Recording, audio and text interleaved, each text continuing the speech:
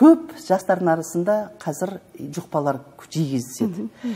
Сондықтан бұл ба- баланың дүниеге келетін балаға әсер етуі мүмкін бе?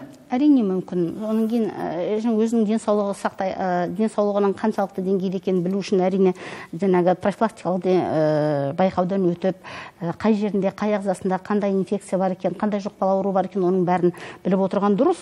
Но бірақ сол жұқпалы ауруды болдырмас үшін кез келген азаматта және азаматшада өзінің жаңағы салауатты өмір сүру мәдениеті болу керек.